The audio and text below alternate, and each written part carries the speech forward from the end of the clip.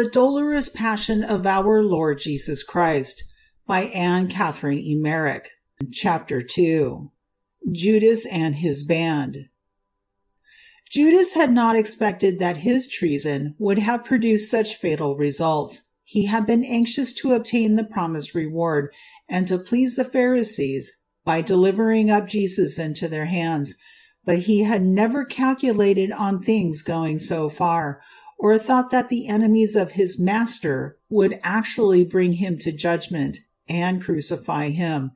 His mind was engrossed with the love of gain alone, and some astute Pharisees and Sadducees, with whom he had established an intercourse, had constantly urged him on to treason by flattering him.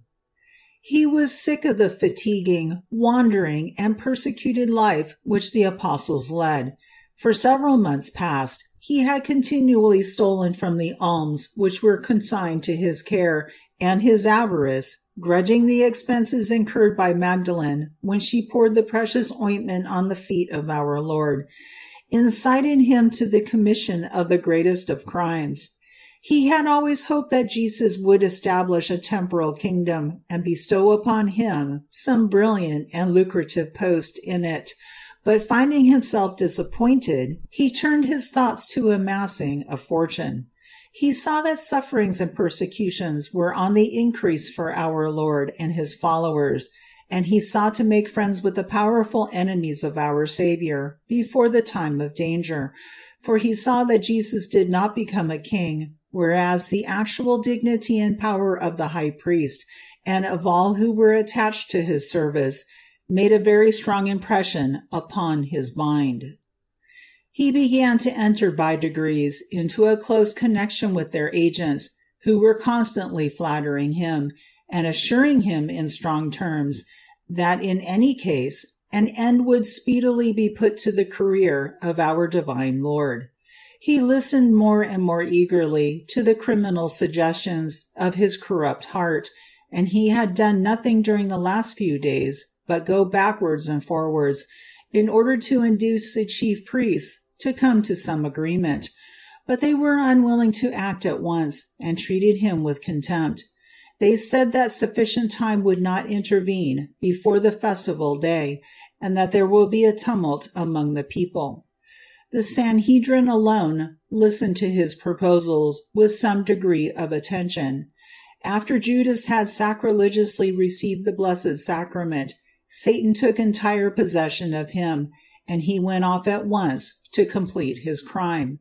He, in the first place, sought those persons who had hitherto flattered and entered into agreements with him, and who still received him with pretended friendship.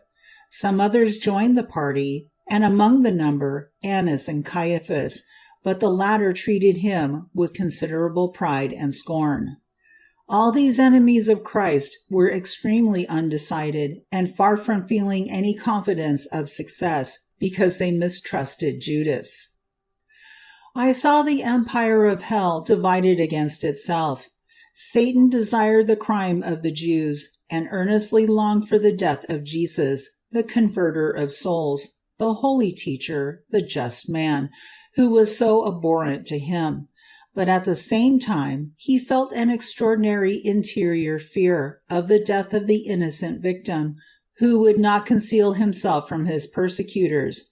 I saw him then, on the one hand, stimulate the hatred and fury of the enemies of Jesus, and on the other, insinuate to some of their number that Judas was a wicked, despicable character and that the sentence could not be pronounced before the festival, or a sufficient number of witnesses against Jesus be gathered together.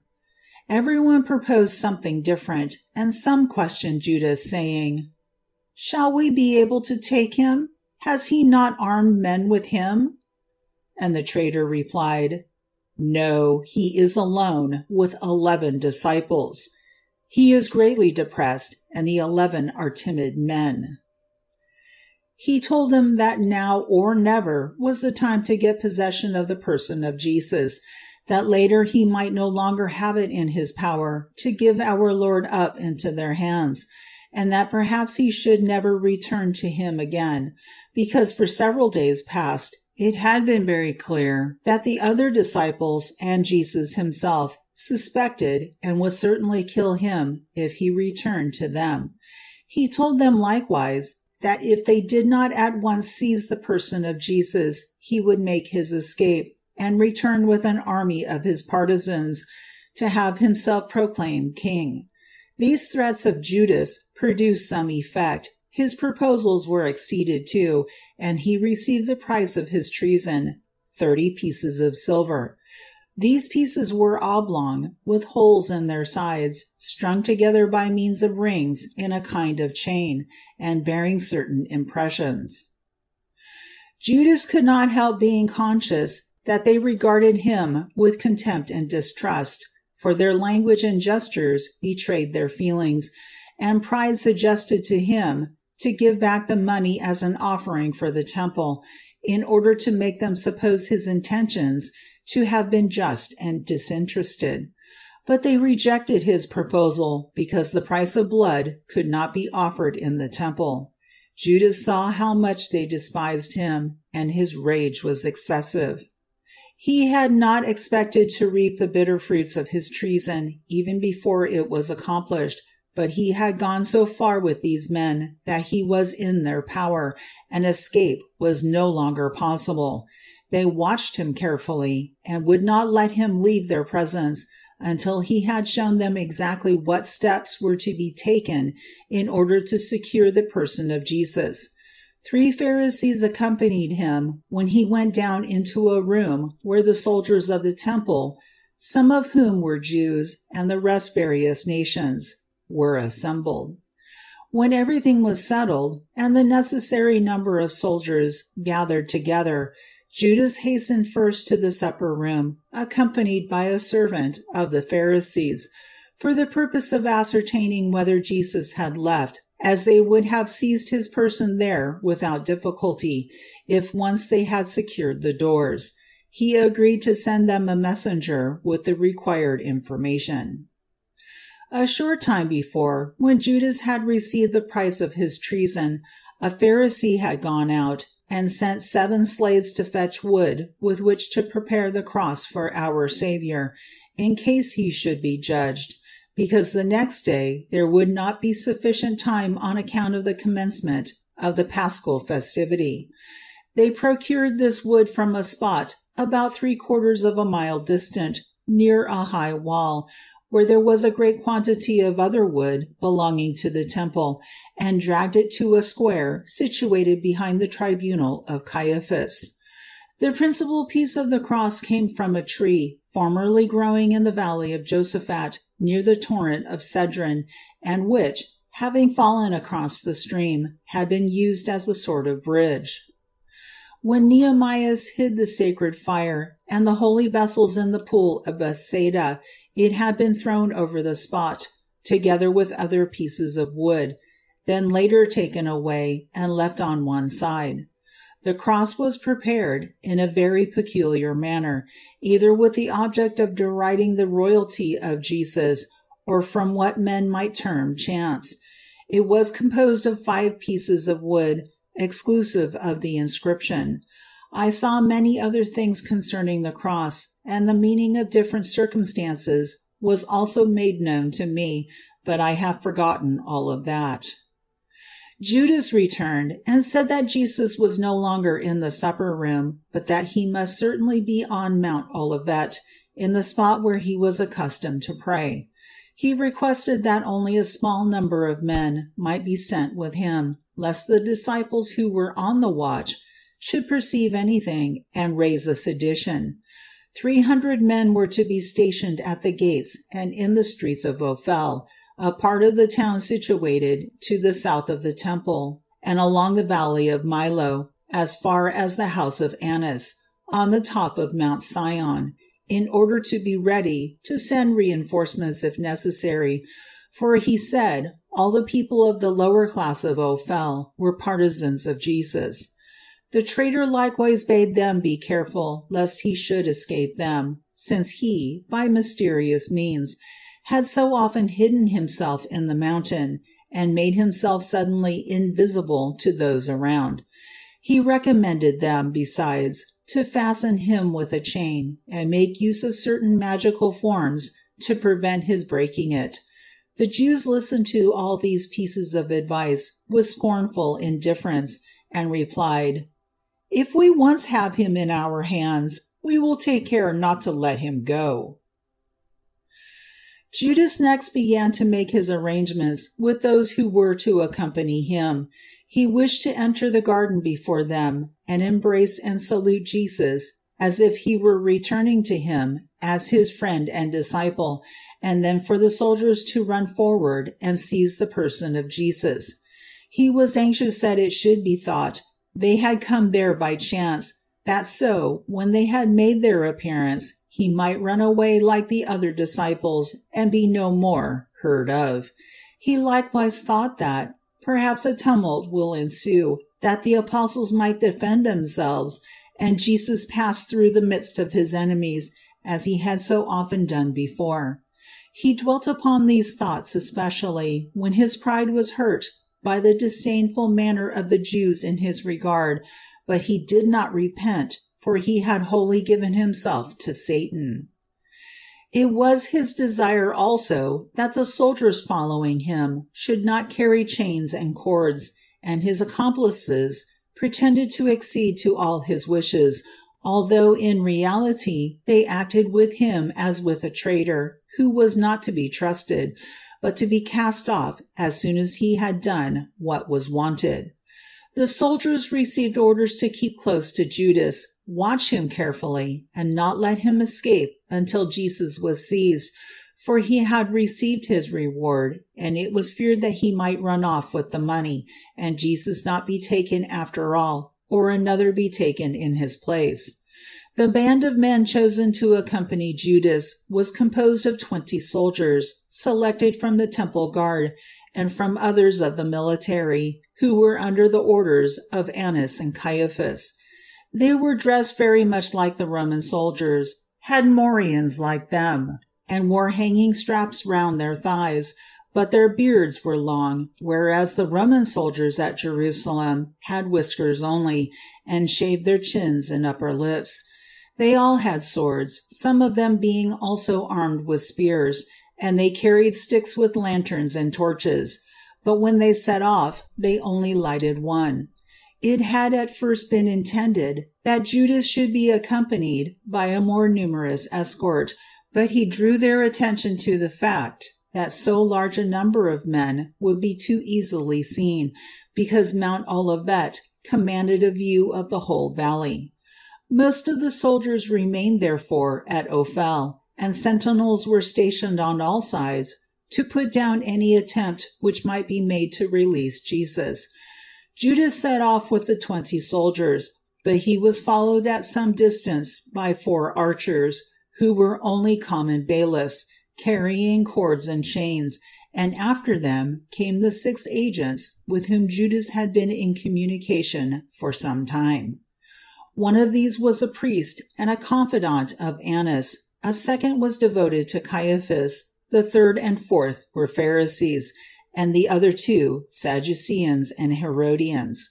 These six men were courtiers of Annas and Caiaphas, acting in the capacity of spies, and most bitter enemies of Jesus.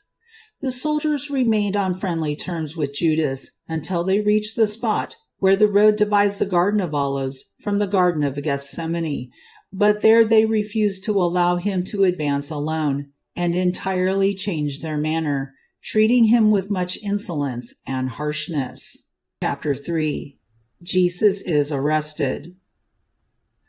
Jesus was standing with his three apostles on the road between Gethsemane and the Garden of Olives when Judas and the band who accompanied him made their appearance.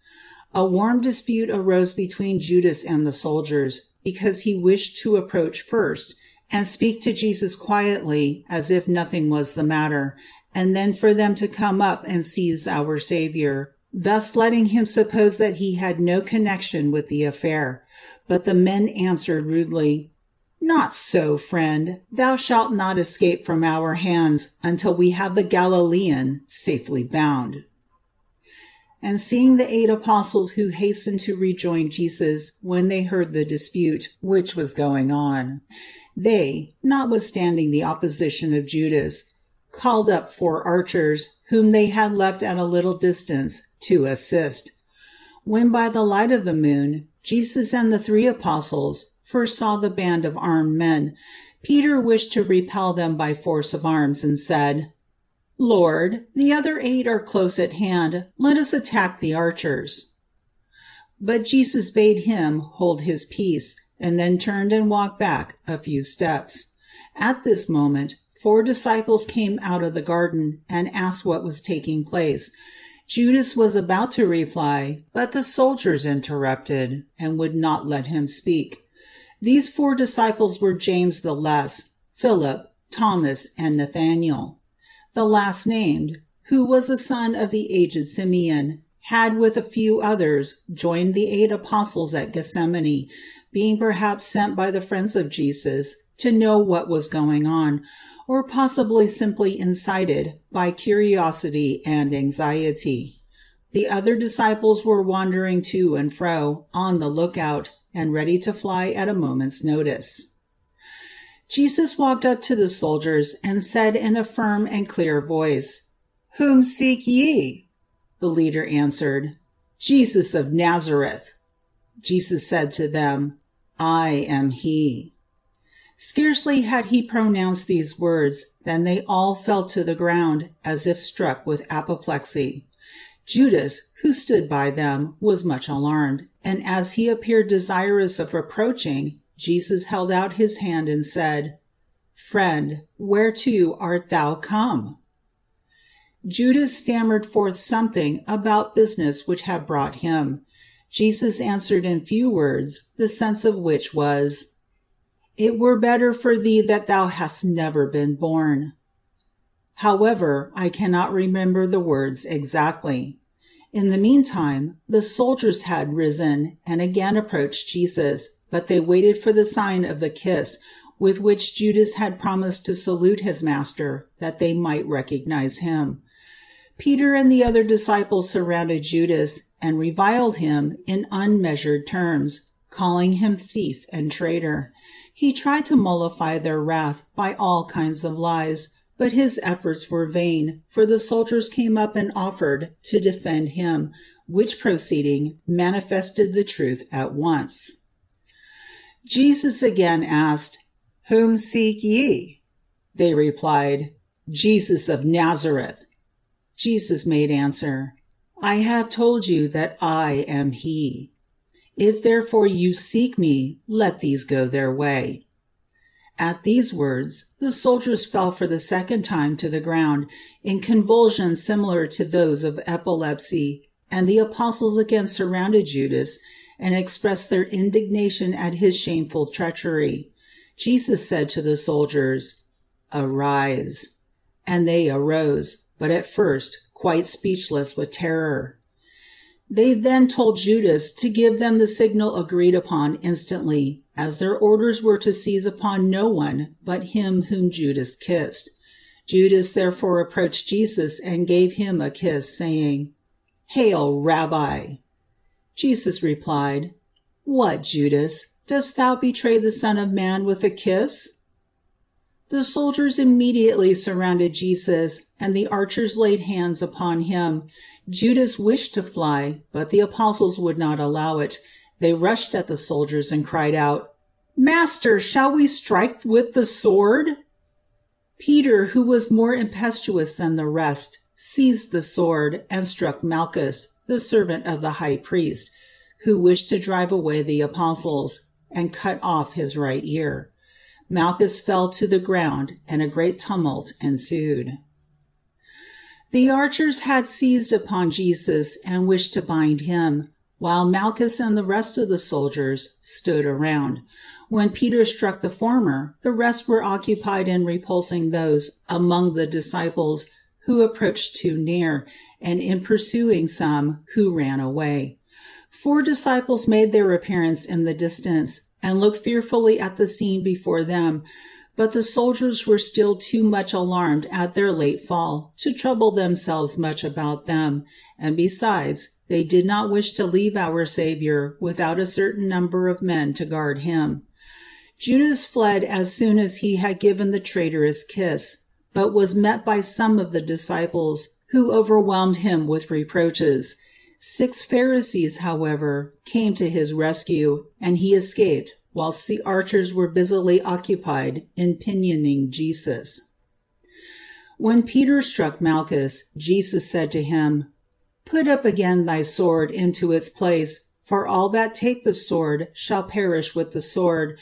Thinkest thou that I cannot ask my Father, and he will give me presently more than twelve legions of angels?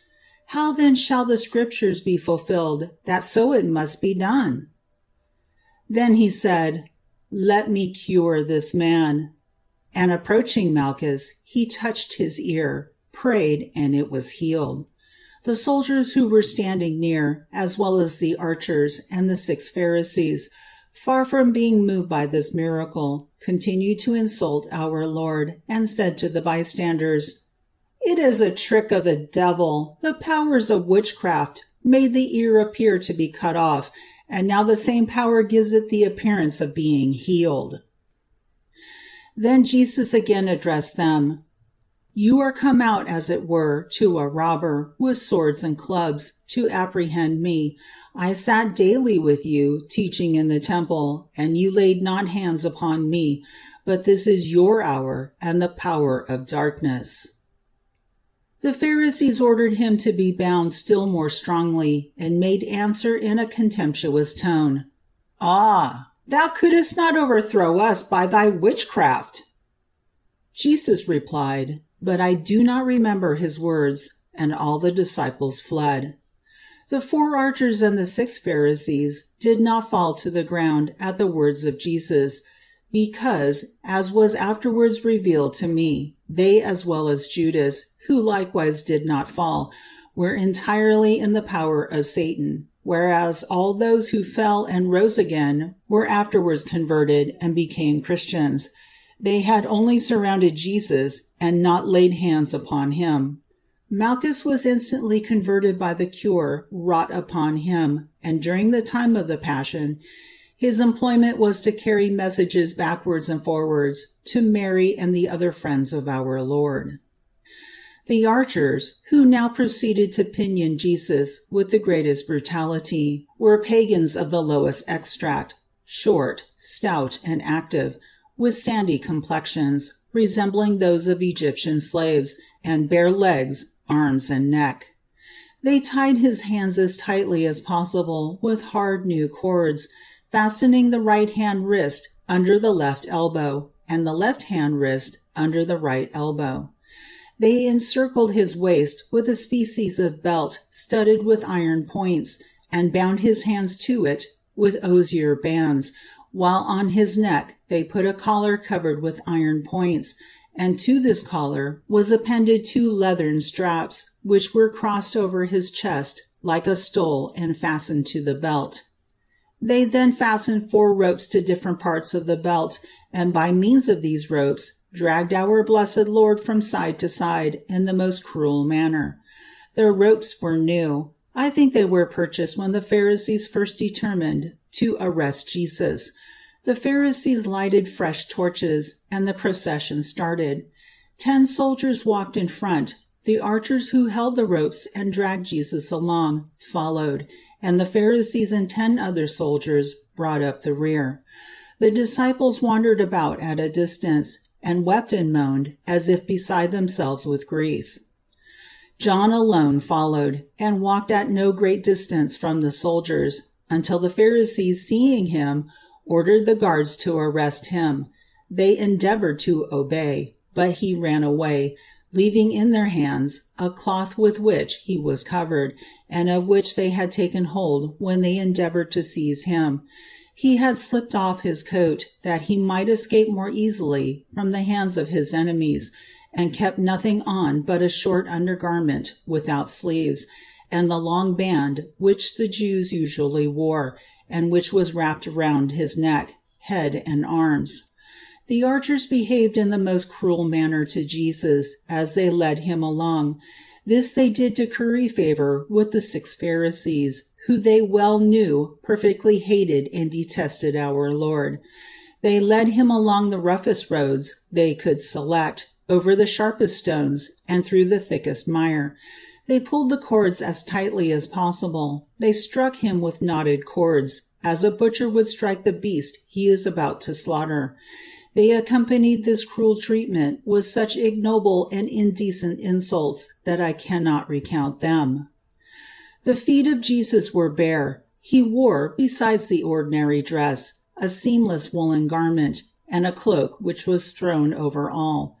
I have forgotten to state that when Jesus was arrested, it was done without any order being presented or legal ceremony taking place. He was treated as a person without the pale of the law. The procession proceeded at a good pace. When they left the road, which runs between the Garden of Olives and that of Gethsemane, they turned to the right, and soon reached the bridge which was thrown over the torrent of Cedron.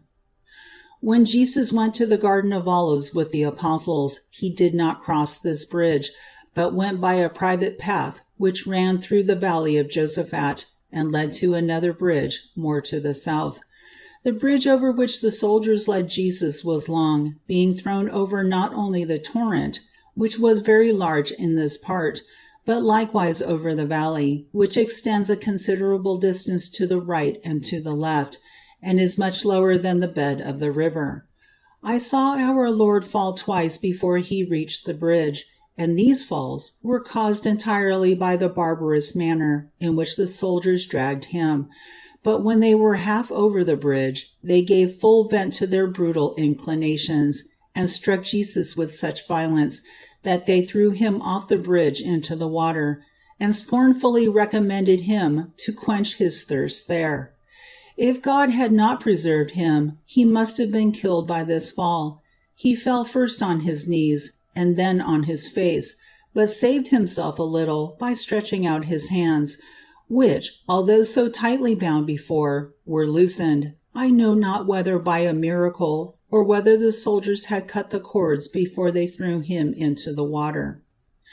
The marks of his feet, his elbows, and his fingers were miraculously impressed on the rocks on which he fell, and these impressions were afterwards shown for the veneration of Christians.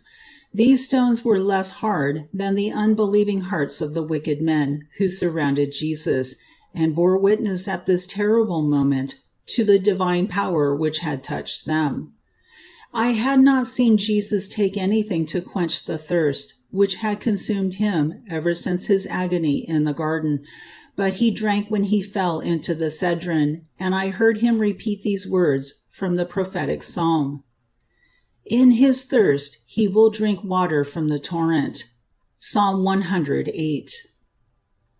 The archers still held the ends of the ropes with which Jesus was bound, but as it would have been difficult to drag him out of the water on that side, on account of a wall which was built on the shore, they turned back and dragged him quite through the Cedron to the shore, and then made him cross the bridge a second time, accompanying their every action with insults, blasphemies, and blows. His long woolen garment, which was quite soaked through, adhered to his legs, impeding every movement, and rendered it almost impossible for him to walk, and when he reached the end of the bridge, he fell quite down. They pulled him up again in the most cruel manner, struck him with cords, and fastened the ends of his wet garment to the belt, abusing him at the same time in the most cowardly manner. It was not quite midnight when I saw the four archers inhumanly drag Jesus over a narrow path, which was choked up with stones, fragments of rocks, thistles, and thorns, on the opposite shore of the Cedron. The six brutal Pharisees walked as close to our Lord as they could, struck him constantly with thick pointed sticks, and seeing that his bare and bleeding feet were torn by the stones and briars, exclaimed scornfully, His precursor, John the Baptist, has certainly not prepared a good path for him here.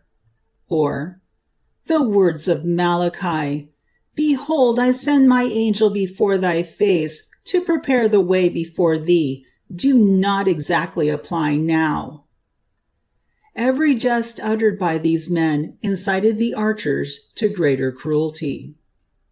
The enemies of Jesus remarked that several persons made their appearance in the distance. They were only disciples who had assembled when they heard that their master was arrested, and who were anxious to discover what the end would be.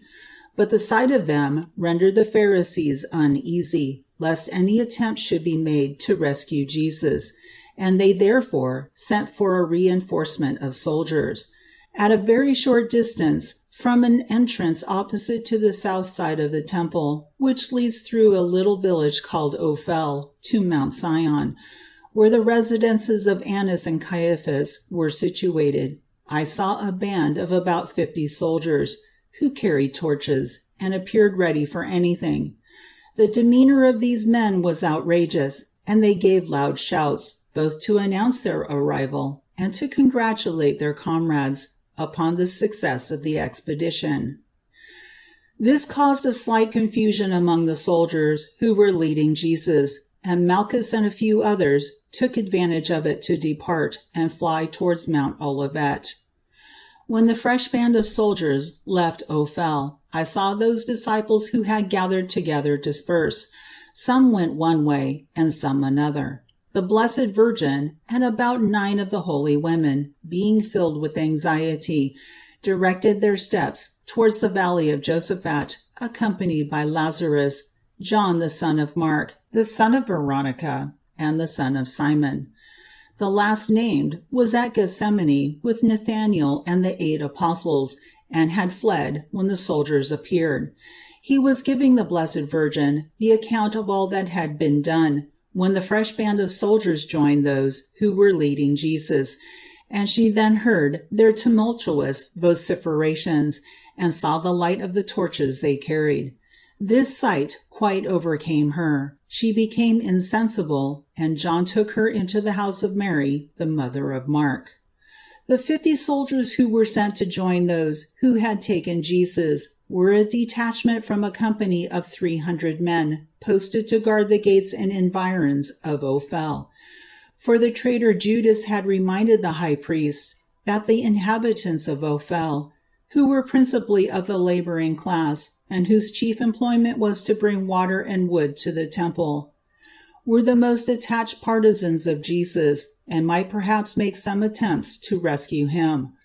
The traitor was aware that Jesus had both consoled, instructed, assisted, and cured the diseases of many of these poor working men, and that Ophel was the place where he halted during his journey from Bethany to Hebron, when John the Baptist had just been executed. Judas also knew that Jesus had cured many of the masons who were injured by the fall of the Tower of Siloe. The greatest part of the inhabitants of Ophel were converted after the death of our Lord, and joined the first Christian community that was formed after Pentecost, and when the Christians separated from the Jews and erected new dwellings, they placed their huts and tents in the valley which is situated between Mount Olivet and Ophel, and there St. Stephen lived. Ophel was on a hill to the south of the temple, surrounded by walls, and its inhabitants were very poor. I think it was smaller than Dulmen. The slumbers of the good inhabitants of Ophel were disturbed by the noise of the soldiers. They came out of their houses and ran to the entrance of the village to ask the cause of the uproar, but the soldiers received them roughly, ordered them to return home, and in reply to their numerous questions said: "We have just arrested Jesus, your false prophet, he who has deceived you so grossly.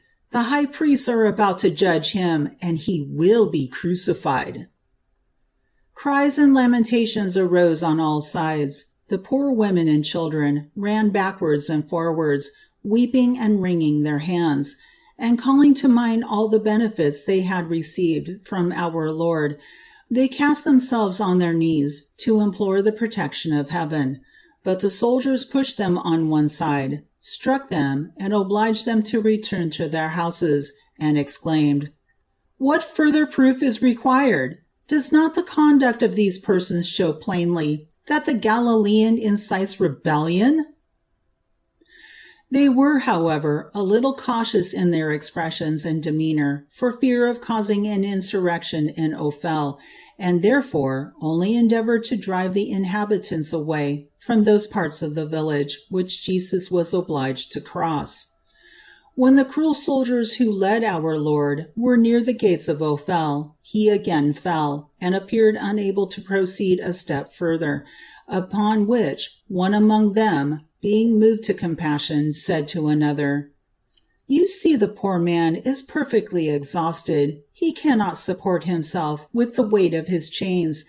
If we wish to get him to the high priest alive, we must loosen the cords with which his hands are bound, that he may be able to save himself a little when he falls. The band stopped for a moment, the fetters were loosened, and another kind-hearted soldier brought some water to Jesus from a neighboring fountain. Jesus thanked him, and spoke of the fountains of living water, of which those who believed in him should drink. But his words enraged the Pharisees still more, and they overwhelmed him with insults and contumelious language. I saw the heart of the soldier who had caused Jesus to be unbound as also that of the one who brought him water, suddenly illuminated by grace. They were both converted before the death of Jesus, and immediately joined his disciples. The procession started again, and reached the gate of Ophel.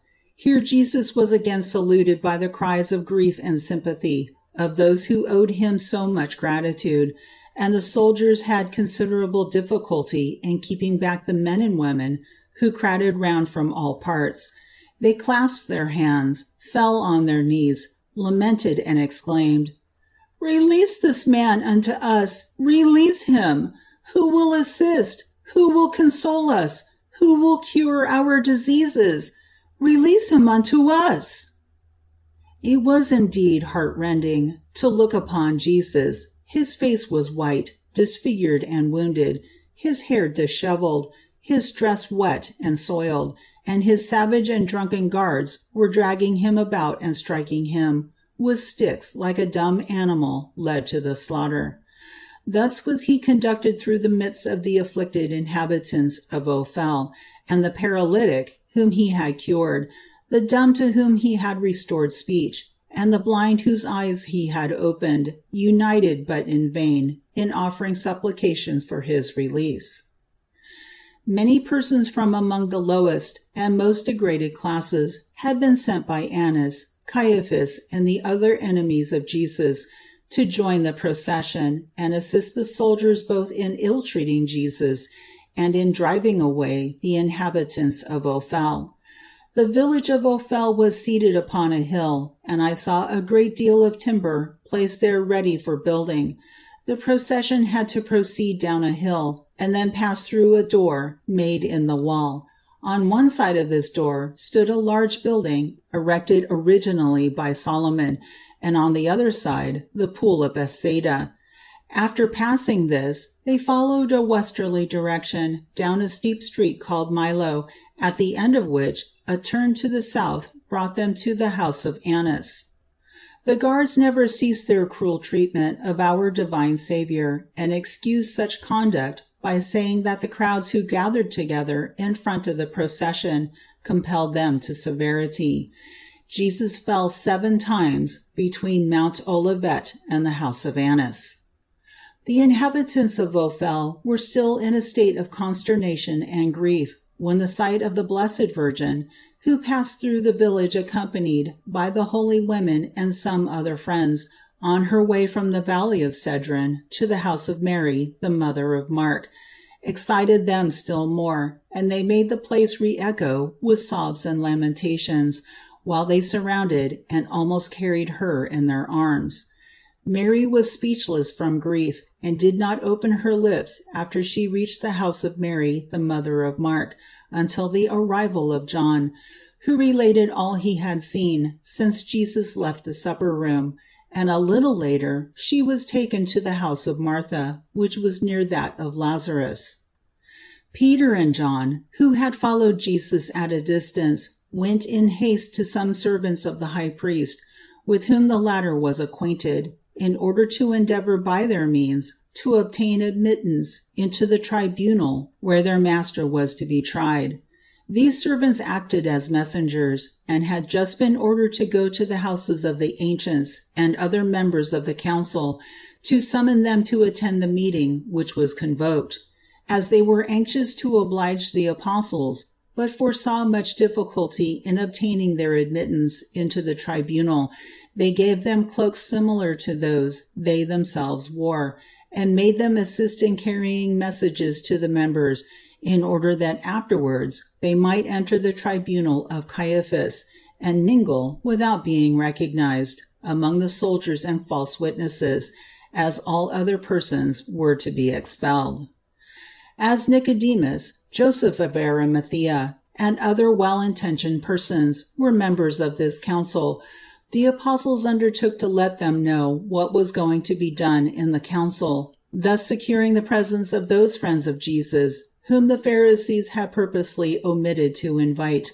In the meantime, Judas wandered up and down the steep and wild precipices at the south of Jerusalem, despair marked on his every feature, and the devil pursuing him to and fro, filling his imagination with still darker visions, and not allowing him a moment's respite. Chapter 4 Means employed by the enemies of Jesus for carrying out their designs against him. No sooner was Jesus arrested than Annas and Caiaphas were informed, and instantly began to arrange their plans with regard to the course to be pursued. Confusion speedily reigned everywhere. The rooms were lighted up in haste, guards placed at the entrances, and messengers dispatched to different parts of the town to convoke the members of the council, the scribes, and all who were to take part in the trial. Many among them had, however, assembled at the house of Caiaphas as soon as the treacherous compact with Judas was completed, and had remained there to await the course of events. The different classes of ancients were likewise assembled, and as the Pharisees, Sadducees, and Herodians were congregated in Jerusalem from all parts of the country for the celebration of the festival, and had long been concerting measures for the arrest of our Lord, the high priest now sent for those whom they knew to be most bitterly opposed to Jesus, and desired them to assemble the witnesses, gather together every possible proof, and bring all before the council. The proud Sadducees of Nazareth, of Capernaum, of Thirza, of Gabara, of Jotapata, and of Silo, whom Jesus had so often reproved before the people, were perfectly dying for revenge. They hastened to all the inns to seek out those persons whom they knew to be enemies of our Lord, and offered them bribes in order to secure their appearance. But with the exception of a few ridiculous calumnies, which were certain to be disproved as soon as investigated, nothing tangible could be brought forward against Jesus, excepting, indeed, those foolish accusations which he had so often refuted in the synagogue. The enemies of Jesus hastened, however, to the tribunal of Caiaphas, escorted by the scribes and Pharisees of Jerusalem, and accompanied by many of those merchants whom our Lord drove out of the temple when they were holding market there, as also by the proud doctors whom he had silenced before all the people, and even by some who could not forgive the humiliation of being convicted of error when he disputed with them in the temple at the age of twelve.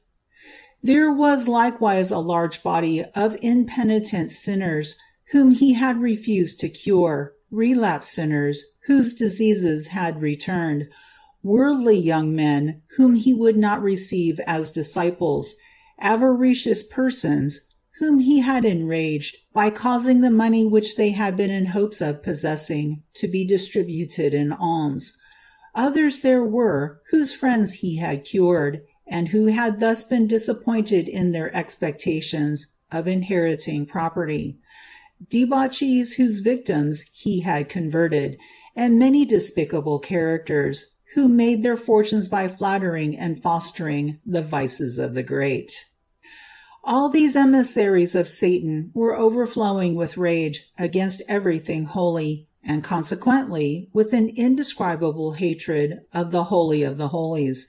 They were further incited by the enemies of our Lord, and therefore assembled in crowds round the palace of Caiaphas to bring forward all their false accusations and to endeavor to cover with infamy that spotless Lamb, who took upon himself the sins of the world and accepted the burden in order to reconcile man with God.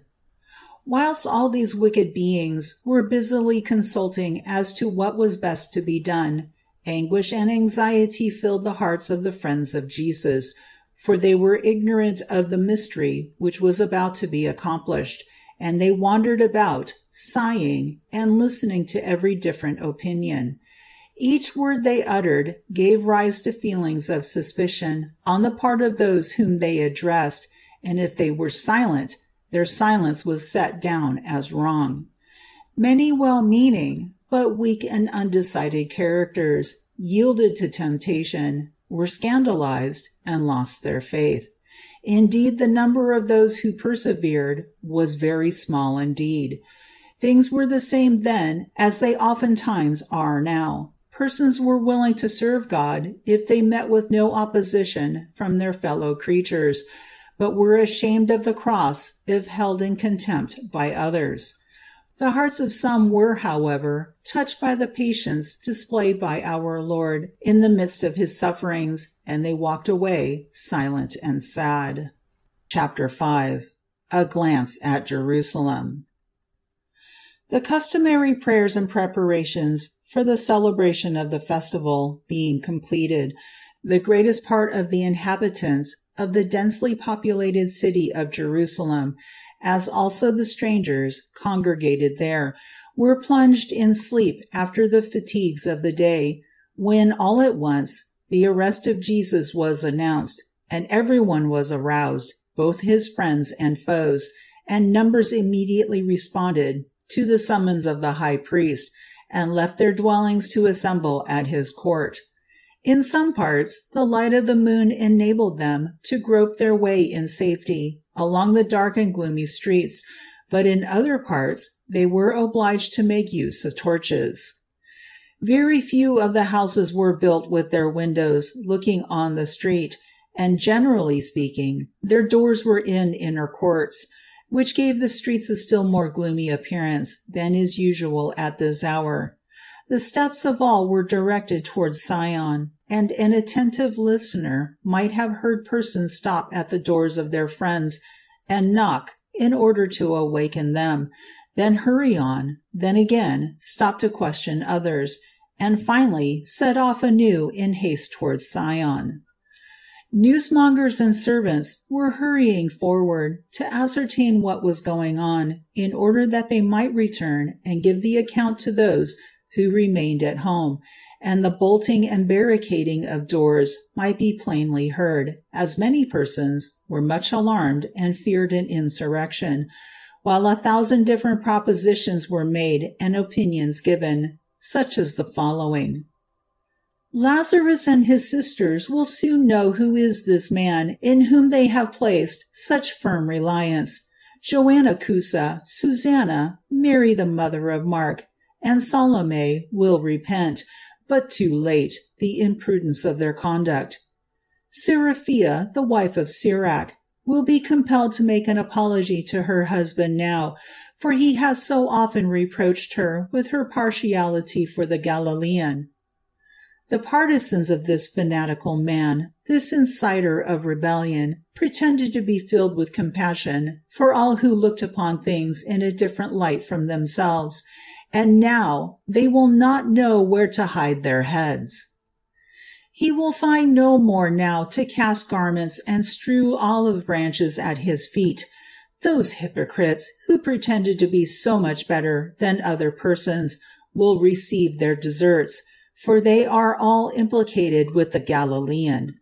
It is a much more serious business than was at first thought. I should like to know how Nicodemus and Joseph of Arimathea will get out of it. The high priests have mistrusted them for some time, They make common cause with Lazarus, but they are extremely cunning. All will now, however, be brought to light. Speeches such as these were uttered by persons who were exasperated, not only against the disciples of Jesus, but likewise with the holy women who had supplied his temporal wants, and had publicly and fearlessly expressed their veneration for his doctrines and their belief in his divine mission. But although many persons spoke of Jesus and his followers in this contemptuous manner, yet there were others who held very different opinions, and of these some were frightened, and others, being overcome with sorrow, sought friends to whom they might unburden their hearts, and before whom they could, without fear, give vent to their feelings. But the number of those sufficiently daring openly to avow their admiration for Jesus was but small.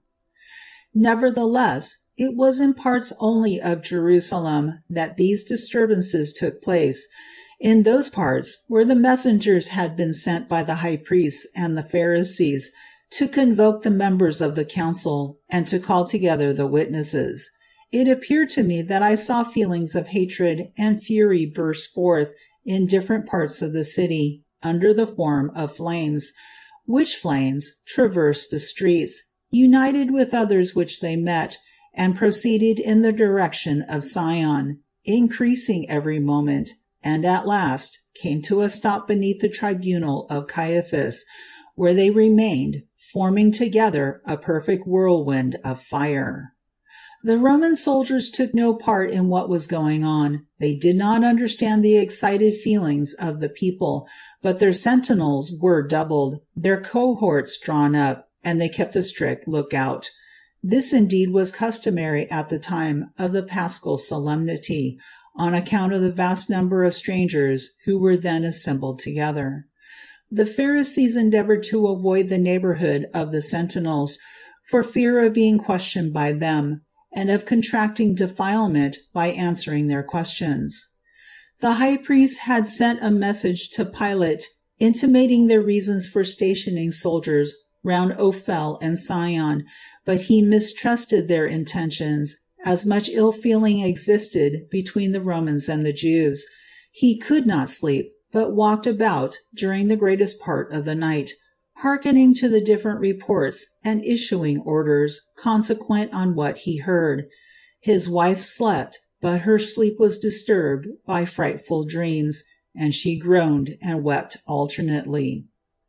In no part of Jerusalem did the arrest of Jesus produce more touching demonstrations of grief than among the poor inhabitants of Ophel, the greatest part of whom were day laborers, and the rest principally employed in menial offices in the service of the temple. The news came unexpectedly upon them. For some time they doubted the truth of the report, and wavered between hope and fear. But the sight of their master, their benefactor, their consoler, dragged through the streets, torn, bruised, and ill treated in every imaginable way, filled them with horror and their grief was still further increased by beholding his afflicted mother wandering about from street to street, accompanied by the holy women, and endeavoring to obtain some intelligence concerning her divine Son. These holy women were often obliged to hide in corners and under doorways for fear of being seen by the enemies of Jesus, but even with these precautions they were oftentimes insulted and taken for women of bad character. Their feelings were frequently harrowed by hearing the malignant words and triumphant expressions of the cruel Jews, and seldom, very seldom, did a word of kindness or pity strike their ears. They were completely exhausted before reaching their place of refuge, but they endeavored to console and support one another, and wrap thick veils over their heads. When at last seated, they heard a sudden knock at the door, and listened breathlessly. The knock was repeated, but softly. Therefore they made certain that it was no enemy, and yet they opened the door cautiously, fearing a stratagem. It was indeed a friend, and they eagerly questioned him, but derived no consolation from his words. Therefore, unable to rest quiet any longer, they issued forth and walked about for a time, and then again returned to their place of refuge, still more heartbroken than before. The majority of the apostles, overcome with terror, were wandering about among the valleys which surrounded Jerusalem, and at times took refuge in the caverns beneath Mount Olivet. They started if they came in contact with one another, spoke in trembling tones, and separated on the least noise being heard. First they concealed themselves in one cave, and then in another. Next they endeavored to return to the town, while some of their number climbed to the top of Mount Olivet and cast anxious glances at the torches, the light of which they could see glimmering at and about Sion. They listened to every distant sound, made a thousand different conjectures, and then returned to the valley in hopes of getting some certain intelligence. The streets in the vicinity of Caiaphas's tribunal were brightly illuminated with lamps and torches, but as the crowds gathered around it, the noise and confusion continued to increase. Mingled with these discordant sounds might be heard the bellowing of the beasts which were tethered on the outside of the walls of Jerusalem, and the plaintive bleating of the lambs. There was something most touching in the bleating of these lambs, which were to be sacrificed on the following day in the temple, the one lamb alone, who was about to be offered a willing sacrifice, opened not his mouth, like a sheep in the hands of the butcher, which resists not, or the lamb which is silent before the shearer. And that lamb is the Lamb of God, the Lamb without spot, the true paschal Lamb, Jesus Christ himself. The sky looked dark, gloomy and threatening. The moon was red, and covered with livid spots. It appeared as if dreading to reach its full, because its Creator was then to die. Then I cast a glance outside the town, and near the south gate I beheld the traitor, Judas Iscariot, wandering about, alone, and a prey to the tortures of his guilty conscience. He feared even his own shadow, and was followed by many devils, who endeavored to turn his feelings of remorse into black despair. The thousands of evil spirits were busying themselves in all parts, tempting men first to one sin, then to another. It appeared as if the gates of hell were flung open, and Satan madly striving and exerting his whole energies to increase the heavy load of iniquities which the Lamb without spot had taken upon himself. The angels wavered between joy and grief, they desired ardently to fall prostrate before the throne of God, and to obtain permission to assist Jesus, but at the same time they were filled with astonishment and could only adore that miracle of divine justice and mercy which had existed in heaven for all eternity, and was now about to be accomplished. For the angels believe like us in God, the Father Almighty, creator of heaven and earth, and in Jesus Christ, his only Son, our Lord, who was conceived by the Holy Ghost, born of the Virgin Mary, who began on this night to suffer under Pontius Pilate, and the next day was to be crucified, to die, and be buried, descend into hell, rise again on the third day, ascend into heaven, be seated at the right hand of God, the Father Almighty, and from thence come to judge the living and the dead. They likewise believe in the Holy Ghost, the Holy Catholic Church, the communion of saints, the forgiveness of sins, the resurrection of the body, and life everlasting. Chapter 6 Jesus before Annas It was towards midnight when Jesus reached the palace of Annas, and his guards immediately conducted him into a very large hall, where Annas, surrounded by twenty-eight counselors, was seated on a species of platform, raised a little above the level of the floor, and placed opposite to the entrance. The soldiers who first arrested Jesus now dragged him roughly to the foot of the tribunal.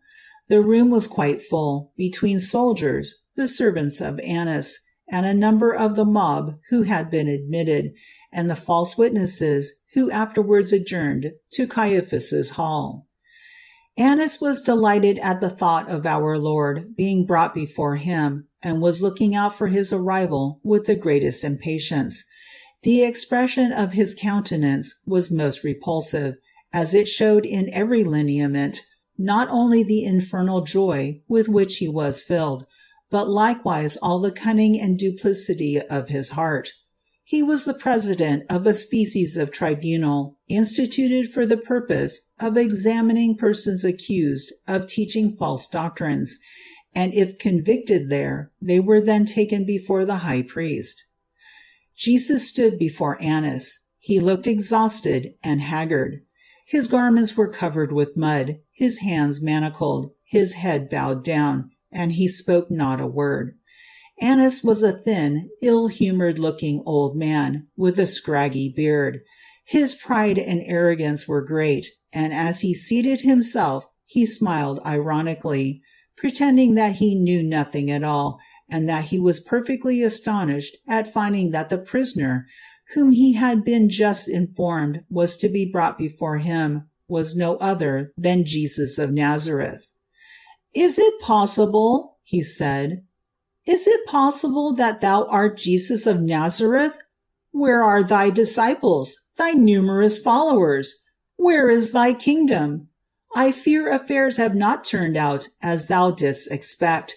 The authorities, I presume, discovered that it was quite time to put a stop to thy conduct, disrespectful as it was towards God and his priests, and to such violations of the Sabbath. What disciples hast thou now? Where are they all gone? Thou art silent? Speak out, seducer! Speak out, thou inciter of rebellion! Didst thou not eat the paschal lamb in an unlawful manner, at an improper time, and in an improper place? Didst thou not desire to introduce new doctrines? Who gave thee the right of preaching? Where didst thou study? Speak, what are the tenets of thy religion? Jesus then raised his weary head, looked at Annas, and said, I have spoken openly to the world. I have always taught in the synagogue, and in the temple, whither all the Jews resort, and in secret I have spoken nothing. Why askest thou me? Ask them who have heard what I have spoken unto them. Behold, they know what things I have said. At this answer of Jesus, the countenance of Annas flushed with fury and indignation. A base menial who was standing near perceived this, and he immediately struck our Lord in the face with his iron gauntlet, exclaiming at the same moment, Answerest thou the high priest so? Jesus was so nearly prostrated by the violence of the blow, that when the guards likewise reviled and struck him, he fell quite down, and blood trickled from his face on to the floor. Laughter, insults, and bitter words resounded through the hall. The archers dragged him roughly up again, and he mildly answered, if I have spoken evil, give testimony of the evil, but if well, why strikest thou me? Annas became still more enraged when he saw the calm demeanor of Jesus, and turning to the witnesses, he desired them to bring forward their accusations. They all began to speak at once. He has called himself king. He says that God is his father that the Pharisees are an adulterous generation. He causes insurrections among the people. He cures the sick by the help of the devil on the Sabbath day. The inhabitants of Ophel assembled round him a short time ago, and addressed him by the titles of Savior and Prophet. He lets himself be called the Son of God. He says that he is sent by God. He predicts the destruction of Jerusalem. He does not fast. He eats with sinners, with pagans, and with publicans, and associates with women of evil repute. A short time ago he said to a man who gave him some water to drink at the gates of Ophel, that he would give unto him the waters of eternal life, after drinking which he would thirst no more. He seduces the people by words of double meaning, etc., etc. These accusations were all vociferated at once. Some of the witnesses stood before Jesus and insulted him, while some spoke with derisive gestures, and the archers went so far as even to strike him, saying at the same time, Speak, why dost thou not answer? Annas and his adherents added mockery to insult, exclaiming at every pause in the accusations, This is thy doctrine, then, is it? What canst thou answer to this? Issue thy orders, great king. Man sent by God, give proofs of thy mission. Who art thou? continued Annas, in a tone of cutting contempt. By whom art thou sent? Art thou the son of an obscure carpenter, or art thou Elias, who was carried up to heaven in a fiery chariot? He is said to be still living, and I have been told that thou canst make thyself invisible when thou pleasest. Perhaps thou art the prophet Malachi, whose words thou dost so frequently quote. Some say that an angel was his father, and that he likewise is still alive. An impostor as thou art could not have a finer opportunity of taking persons in than by passing thyself off as this prophet. Tell me, without further preamble, to what order of kings dost thou belong? Thou art greater than Solomon, at least thou pretendest so to be, and dost even expect to be believed. Be easy, I will no longer refuse the title and the scepter which are so justly thy due.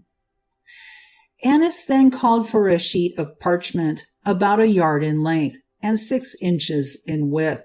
On this he wrote a series of words in large letters, and each word expressed some different accusation which had been brought against our Lord. He then rolled it up, placed it in a little hollow tube, fastened it carefully on the top of a reed, and presented this reed to Jesus, saying at the same time, with a contemptuous sneer, Behold the scepter of thy kingdom.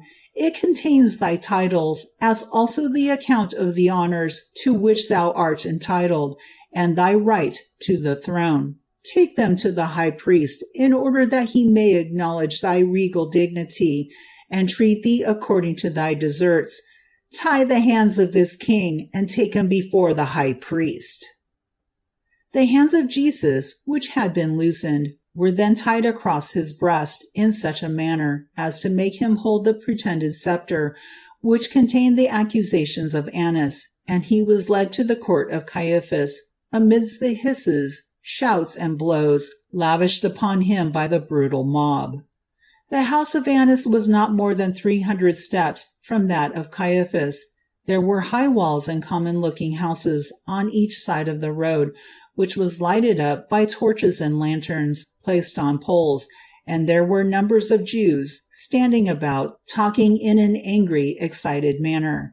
The soldiers could scarcely make their way through the crowd, and those who had behaved so shamefully to Jesus at the court of Annas continued their insults and base usage during the whole of the time spent in walking to the house of Caiaphas. I saw money given to those who behaved the worst to Jesus by armed men belonging to the tribunal, and I saw them push out of the way all who looked compassionately at him. The former were allowed to enter the court of Caiaphas. Chapter 7 The Tribunal of Caiaphas To enter Caiaphas's tribunal, persons had to pass through a large court, which we will call the exterior court. From thence they entered into an inner court, which extended all around the building.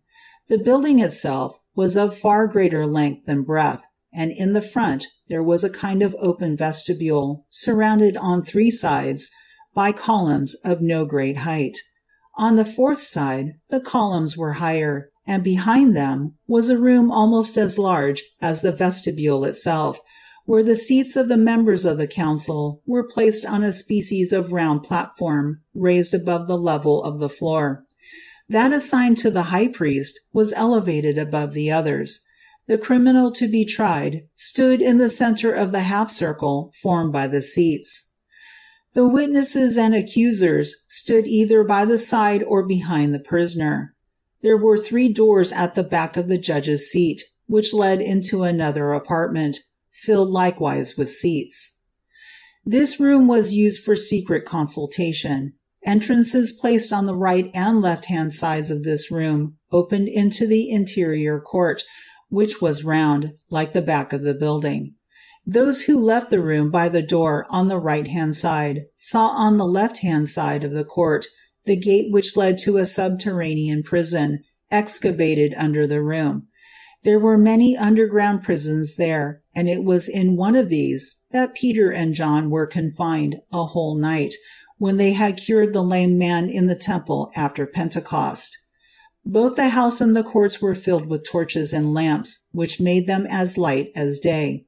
There was a large fire lighted in the middle of the porch, on each side of which were hollow pipes to serve as chimneys for the smoke, and round this fire were standing soldiers, menial servants and witnesses of the lowest class, who had received bribes for giving their false testimony.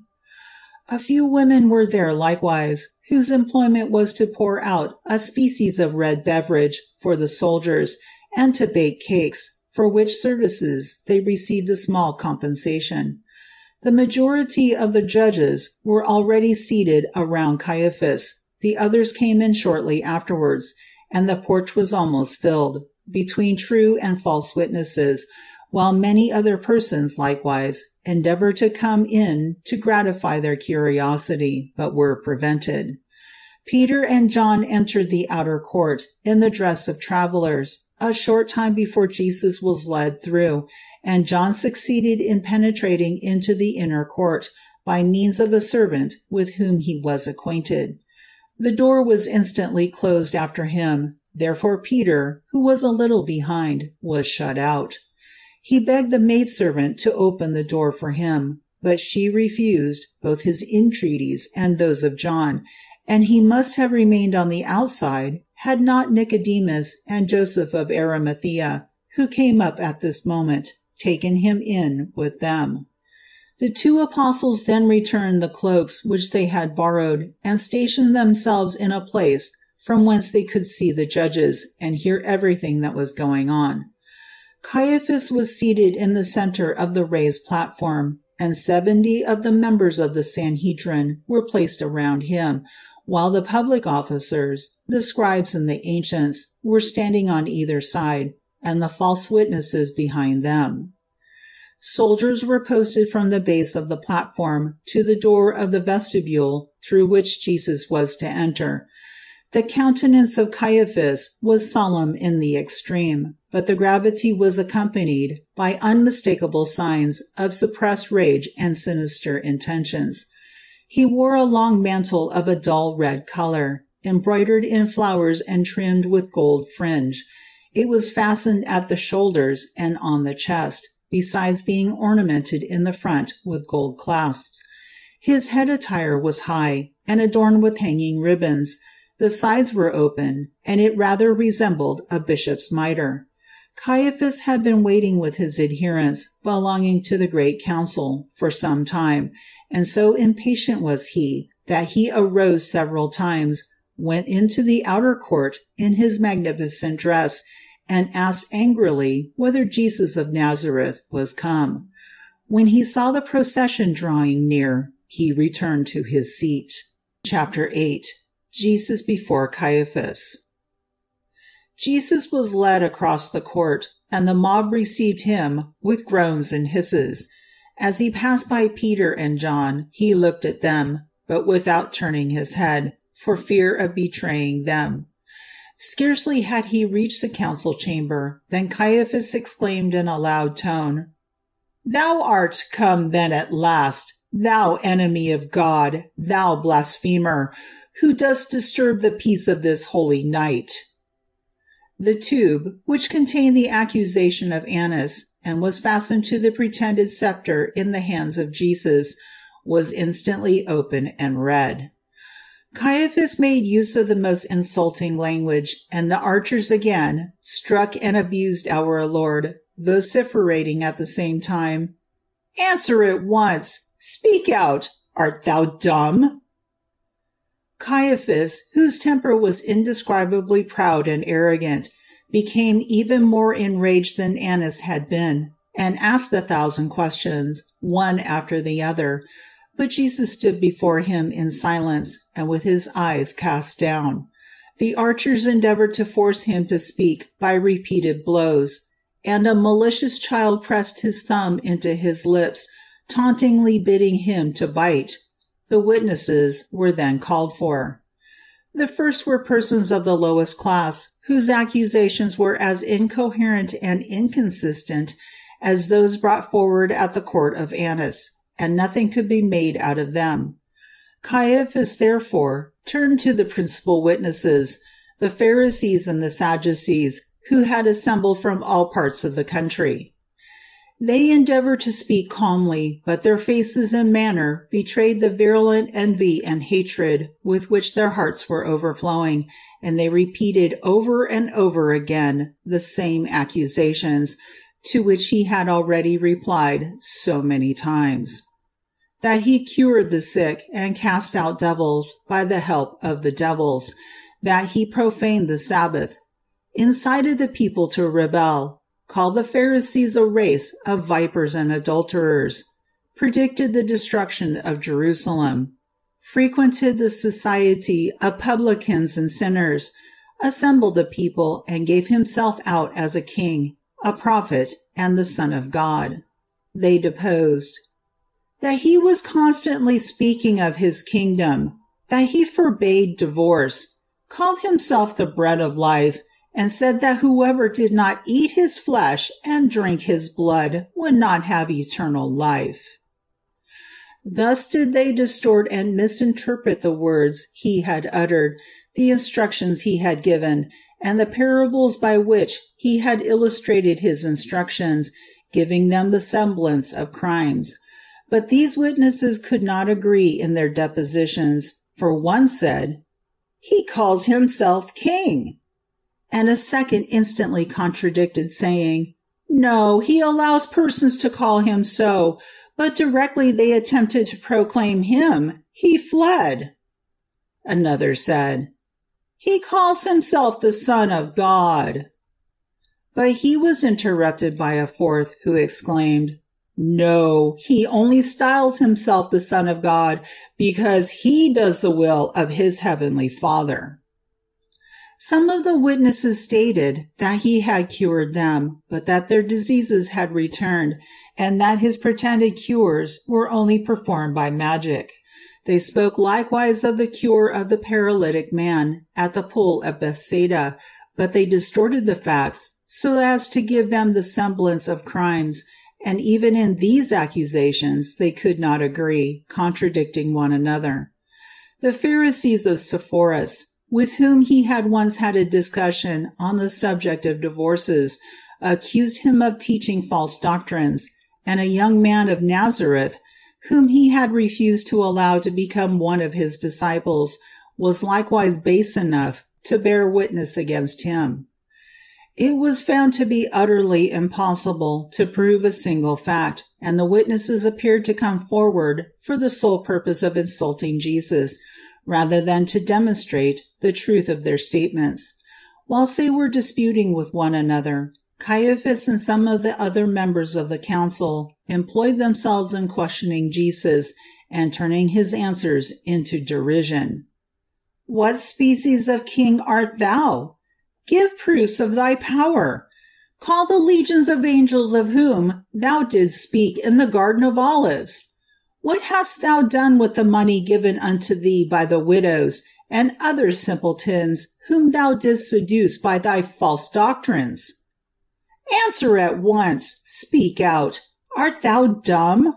Thou wouldst have been far wiser to have kept silence when in the midst of the foolish mob. There thou didst speak far too much. All these questions were accompanied by blows from the underservants of the members of the tribunal, and had our Lord not been supported from above, he could not have survived this treatment. Some of the base witnesses endeavored to prove that he was an illegitimate son, but others declared that his mother was a pious virgin, belonging to the temple, and that they afterwards saw her betrothed to a man who feared God. The witnesses upbraided Jesus and his disciples with not having offered sacrifice in the temple. It is true that I never did see either Jesus or his disciples offer any sacrifice in the temple, excepting the paschal lamb. But Joseph and Anna used frequently during their lifetime to offer sacrifice for the child Jesus. However, even this accusation was puerile, for the Essenes never offered sacrifice, and no one thought the less well of them for not doing so. The enemies of Jesus still continued to accuse him of being a sorcerer, and Caiaphas affirmed several times that the confusion in the statements of the witnesses was caused solely by witchcraft. Some said that he had eaten the paschal lamb on the previous day, which was contrary to the law, and that the year before he had made different alterations in the manner of celebrating this ceremony.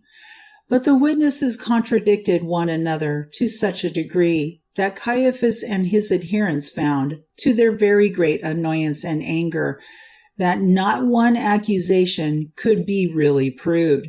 Nicodemus and Joseph of Arimathea were called up, and being commanded to say how it happened that they had allowed him to eat the Pasch on the wrong day, in a room which belonged to them, they proved from ancient documents that from time immemorial the Galileans had been allowed to eat the Pasch a day earlier than the rest of the Jews. They added that every other part of the ceremony had been performed according to the directions given in the law, and that persons belonging to the temple were present at the supper. This quite puzzled the witnesses, and Nicodemus increased the rage of the enemies of Jesus by pointing out the passages in the archives which prove the right of the Galileans, and gave the reason for which this privilege was granted. The reason was this the sacrifices would not have been finished by the Sabbath if the immense multitudes who congregated together for that purpose had all been obliged to perform the ceremony on the same day. And although the Galileans had not always profited by this rite, yet its existence was incontestably proved by Nicodemus, and the anger of the Pharisees was heightened by his remarking that the members of the council had cause to be greatly offended at the gross contradictions in the statements of the witnesses, and that the extraordinary and hurried manner in which the whole affair had been conducted showed that malice and envy were the sole motives which incited the accusers, and made them bring the case forward at a moment when all were busied in the preparations for the most solemn feast of the year. They looked at Nicodemus furiously and could not reply, but continued to question the witnesses in a still more precipitate and imprudent manner. Two witnesses at last came forward and said, This man said, I will destroy this temple made with hands, and within three days I will build another not made with hands. However, even these witnesses did not agree in their statements for one said that the accused wished to build a new temple, and that he had eaten the Pasch in an unusual place, because he desired the destruction of the ancient temple. But the other said, Not so. The edifice where he eat the Pasch was built by human hands, therefore he could not have referred to that. The wrath of Caiaphas was indescribable, for the cruel treatment which Jesus had suffered, his divine patience, and the contradictions of the witnesses were beginning to make a great impression on many persons present. A few hisses were heard, and the hearts of some were so touched that they could not silence the voice of their consciences. Ten soldiers left the court under pretext of indisposition, but in reality overcome by their feelings.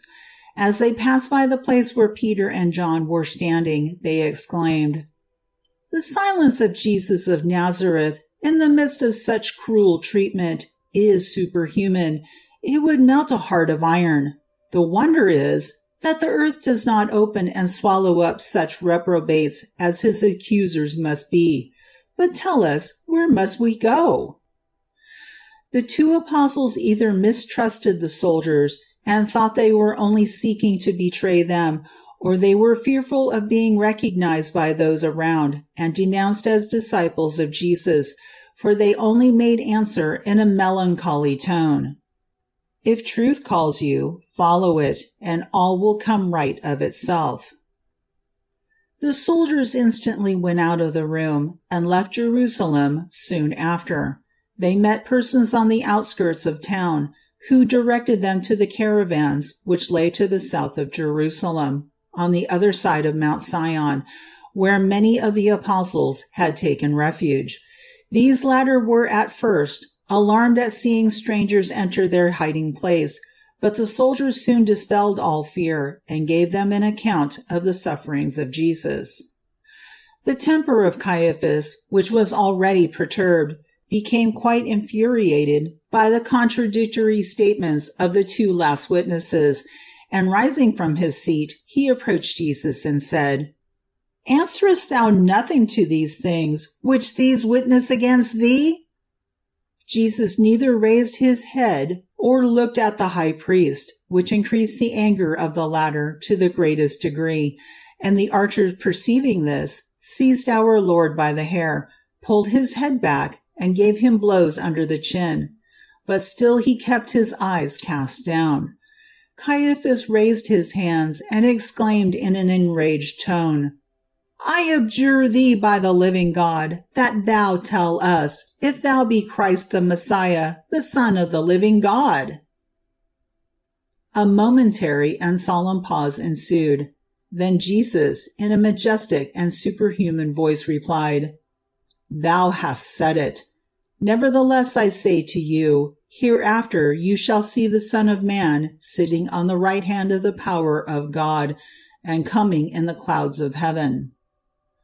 Whilst Jesus was pronouncing these words, a bright light appeared to me to surround him. Heaven was opened above his head. I saw the eternal Father, but no words from a human pen can describe the intuitive view that was then vouchsafed me of him. I likewise saw the angels and the prayers of the just ascending to the throne of God. At the same moment I perceived the yawning abyss of hell, like a fiery meteor at the feet of Caiaphas. It was filled with horrible devils. A slight gauze alone appeared to separate him from its dark flames. I could see the demoniacal fury with which his heart was overflowing, and the whole house looked to me like hell. At the moment that our Lord pronounced the solemn words, I am the Christ, the Son of the living God. Hell appeared to be shaken from one extremity to the other, and then, as it were, to burst forth and inundate every person in the house of Caiaphas with feelings of redoubled hatred towards our Lord. These things were always shown to me under the appearance of some material object which renders them less difficult of comprehension and impresses them in a more clear and forcible manner on the mind, because we ourselves, being material beings, facts are more easily illustrated in our regard if manifested through the medium of the senses. The despair and fury which these words produced in hell were shown to me under the appearance of a thousand terrific figures in different places. I remember seeing, among other frightful things, a number of little black objects, like dogs with claws, which walked on their hind legs. I knew at the time what kind of wickedness was indicated by this apparition, but I cannot remember now. I saw these horrible phantoms enter into the bodies of the greatest part of the bystanders, or else place themselves on their head or shoulders. I likewise at this moment saw frightful spectres come out of the sepulchres on the other side of Sion. I believe they were evil spirits. I saw in the neighborhood of the temple many other apparitions, which resembled prisoners loaded with chains. I do not know whether they were demons or souls condemned to remain in some particular part of the earth and who were then going to limbo, which our Lord's condemnation to death had opened to them. It is extremely difficult to explain these facts for fear of scandalizing those who have no knowledge of such things, but persons who see, feel them, and they often cause the very hair to stand on end on the head. I think that John saw some of these apparitions, for I heard him speak about them afterwards. All whose hearts were not radically corrupted felt excessively terrified at these events, but the hardened were sensible of nothing but an increase of hatred and anger against our Lord. Caiaphas then arose, and urged on by Satan, took up the end of his mantle, pierced it with his knife, and rent it from one end to the other, exclaiming at the same time in a loud voice, He has blasphemed! What further need have we of witnesses? Behold, now you have heard the blasphemy. What think you?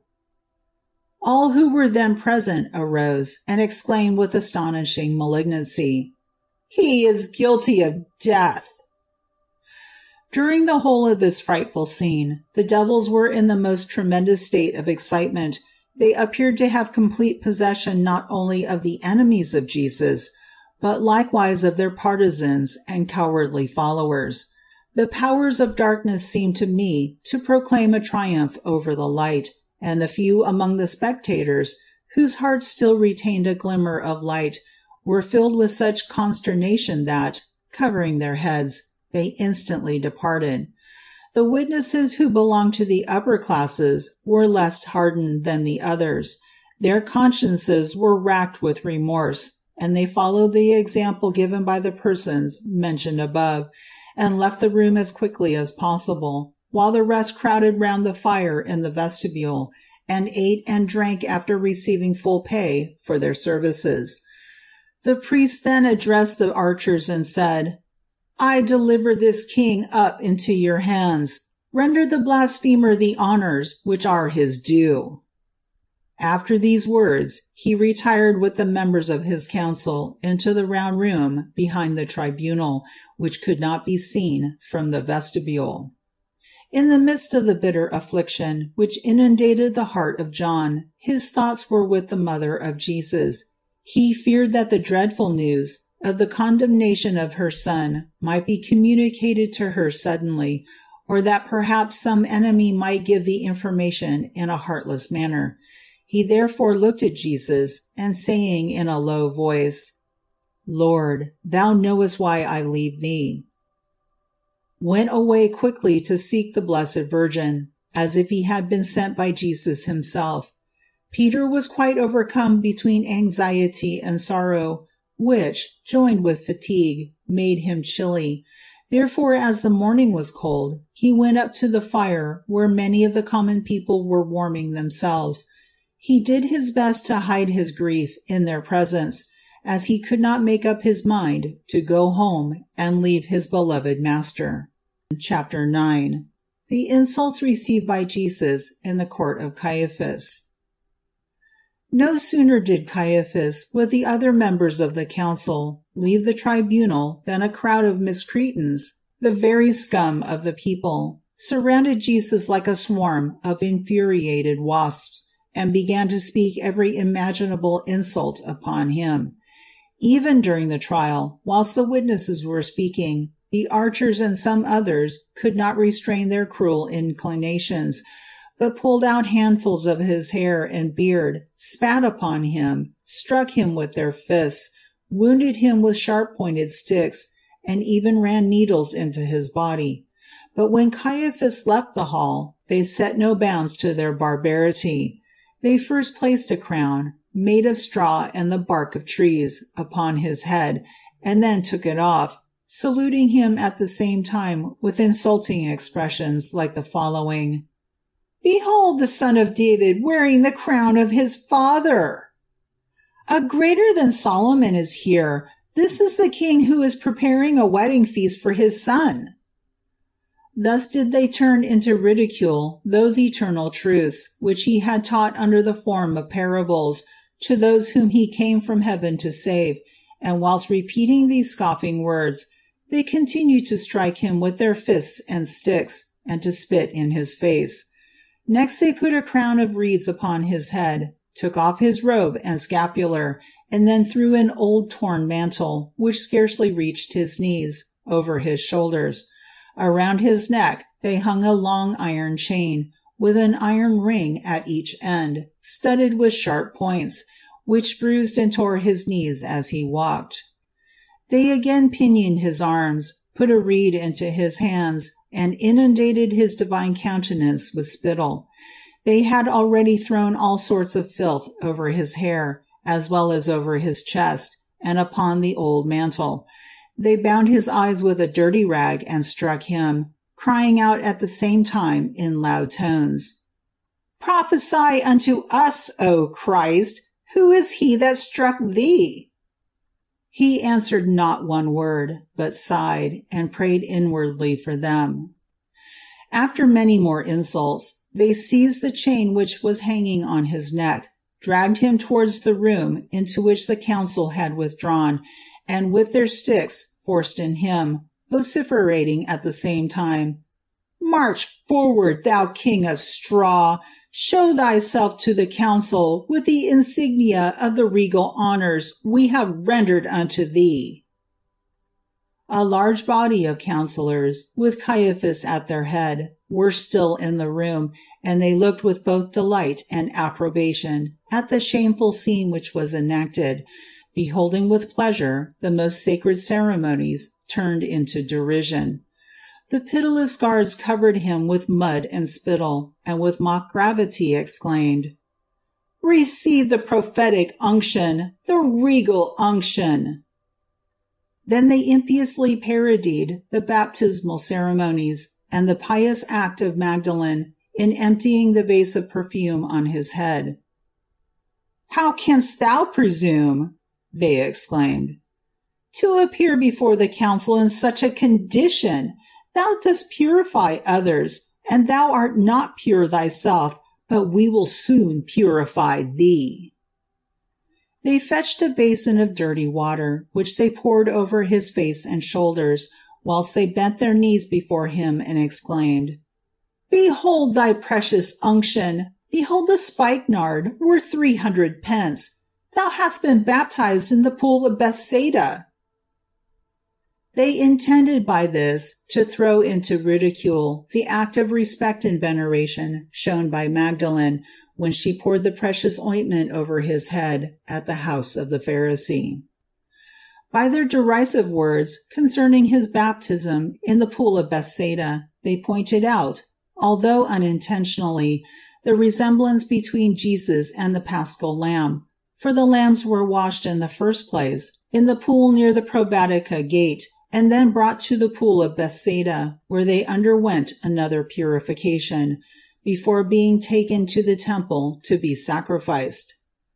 The enemies of Jesus likewise alluded to the man who had been infirm for thirty eight years, and who was cured by Jesus at the pool of Bethsaida. For I saw this man either washed or baptized there. I say either washed or baptized, because I do not exactly remember the circumstances. They then dragged Jesus round the room, before all the members of the council, who continued to address him in reproachful and abusive language. Every countenance looked diabolical and enraged, and all around was dark, confused, and terrific. Our Lord, on the contrary, was from the moment that he declared himself to be the Son of God, generally surrounded with a halo of light. Many of the assembly appeared to have a confused knowledge of this fact, and to be filled with consternation at perceiving that neither outrages nor ignominies could alter the majestic expression of his countenance. The halo which shone round Jesus from the moment he declared himself to be the Christ, the Son of the living God, served but to incite his enemies to greater fury, and yet it was so resplendent that they could not look at it, and I believe their intention in throwing the dirty rag over his head was to deaden its brightness. Chapter 10 The Denial of St. Peter At the moment when Jesus uttered the words, Thou hast said it, and the high priest rent his garment, the whole room resounded with tumultuous cries. Peter and John, who had suffered intensely during the scene which had just been enacted, and which they had been obliged to witness in silence, could bear the sight no longer. Peter therefore got up to leave the room, and John followed soon after.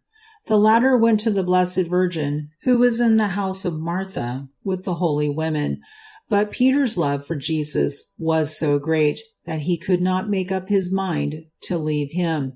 His heart was bursting, and he wept bitterly, although he endeavored to restrain and hide his tears. It was impossible for him to remain in the tribunal, as his deep emotion at the sight of his beloved master's sufferings would have betrayed him. Therefore he went into the vestibule and approached the fire, around which soldiers and common people were sitting and talking, in the most heartless and disgusting manner, concerning the sufferings of Jesus, and related all that they themselves had done to him. Peter was silent, but his silence and dejected demeanor made the bystanders suspect something.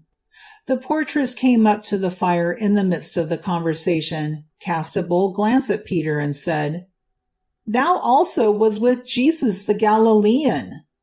These words startled and alarmed Peter. He trembled at what might ensue if he owned the truth before his brutal companions, and therefore answered quickly, Woman, I know him not got up and left the vestibule.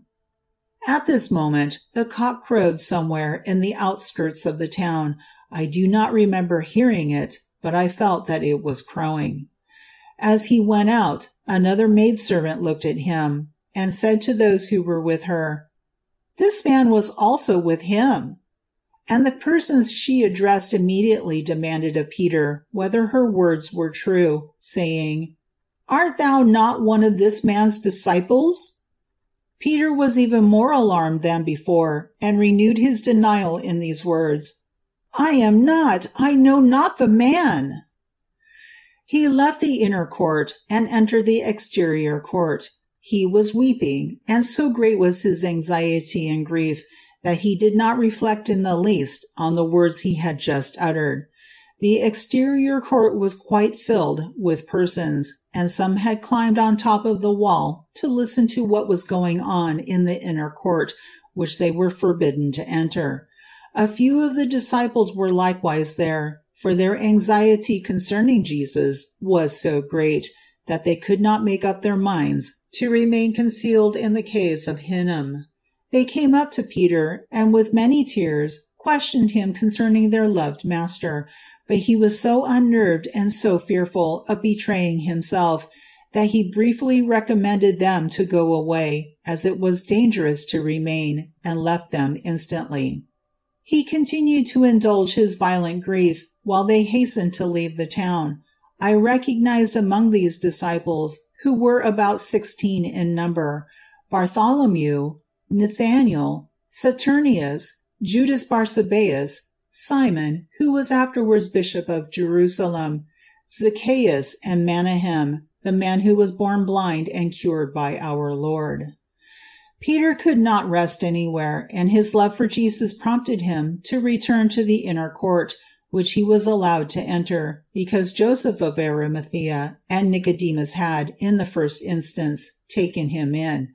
He did not re-enter the vestibule, but turned to the right and went towards the round room which was behind the tribunal, in which Jesus was undergoing every possible insult and ignominy from his cruel enemies. Peter walked timidly up to the door, and although perfectly conscious that he was suspected by all present of being a partisan of Jesus, yet he could not remain outside. His love for his master impelled him forward he entered the room, advanced, and soon stood in the very midst of the brutal throng, who were feasting their cruel eyes on the sufferings of Jesus. They were at that moment dragging him ignominiously backwards and forwards, with the crown of straw upon his head. He cast a sorrowful and even severe glance upon Peter, which cut him to the heart, but as he was still much alarmed, and at that moment heard some of the bystanders call out, Who is that man? He went back again into the court, and seeing that the persons in the vestibule were watching him, came up to the fire and remained before it for some time. Several persons who had observed his anxious, troubled countenance began to speak in opprobrious terms of Jesus, and one of them said to him, Thou also art one of his disciples, thou also art a Galilean, thy very speech betrays thee. Peter got up, intending to leave the room, when a brother of Malchus came up to him and said, Did I not see thee in the garden with him? Didst thou not cut off my brother's ear? Peter became almost beside himself with terror. He began to curse and to swear that he knew not the man, and ran out of the vestibule into the outer court. The cock then crowed again, and Jesus, who at that moment was led across the court, cast a look of mingled compassion and grief upon his apostle. This look of our Lord pierced Peter to the very heart.